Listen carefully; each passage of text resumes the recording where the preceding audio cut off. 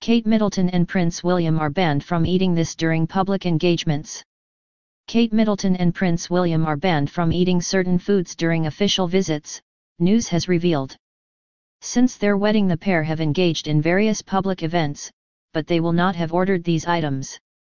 Kate Middleton, 35, and Prince William, 34, like the rest of the royal family, often take part in royal visits. However, many do not know that while on these visits the royals are placed on a strict diet. The royals are prohibited from eating shellfish during visits, in case they get food poisoning. An upset stomach could play havoc with a royal's schedule. And this is not the only restriction on their eating habits that Kate and William adhere to while on trips. Royals must also avoid eating rare meat and drinking tap water. Garlic is also said to be forbidden, however, whether this is down to food poisoning or just bad breath is unclear.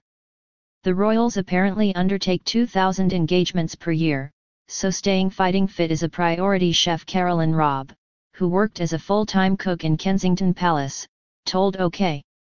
Magazine, the reason for that was that they obviously did a lot of public engagements and were in close proximity to people and never wanted to have garlic.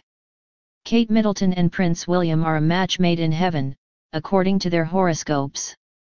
An expert looked at the royal couple's star sign. The pair's wedding was in April 2011.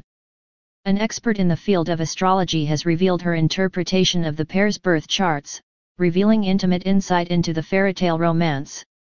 Is their relationship really as perfect as it seems? It was recently revealed why Princess Diana wore two watches before she married Prince Charles.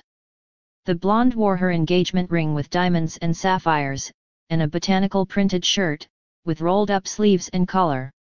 On one wrist she had a metal bracelet, while on the other she wore two wrist watches.